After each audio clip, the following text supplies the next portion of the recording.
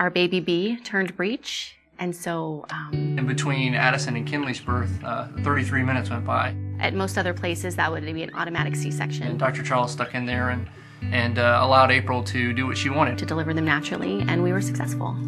I'm not sure that would have happened had we delivered at any other hospital. I had had several friends who had delivered here and had wonderful experiences.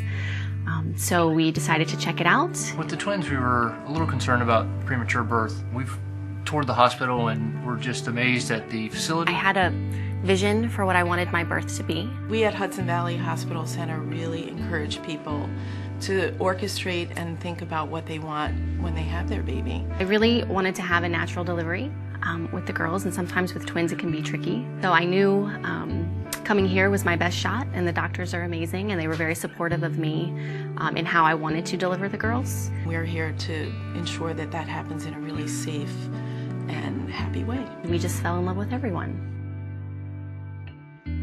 My husband and I um, sat Taylor down and told her she was going to be a big sister. I thought of jumping up and down and very excited. When Taylor first told us that she would like to be in the, the room when Addison was born, first of all, it doesn't surprise us. Nothing surprises us with Taylor. I loved the idea. I wanted her to be a part of it. I thought it would help her bond with her sisters. the fact that the hospital allows um, you know family members including other, uh, older siblings to be there during the delivery is one of the things that definitely makes the hospital unique We learned that they offered a class for siblings who wanted to be at the birth.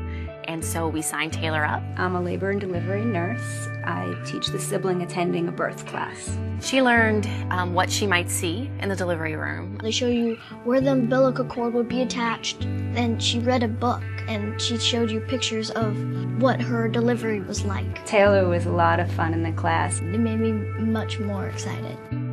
And she was there when Addison was born, our baby A. She was able to go with her to the nursery and cut her cord and just be a part of the whole thing. I would say that it's really cool to see your baby sister or baby brother be born. That's really cool. She wanted to be there when her sisters came into the world, and she loved it.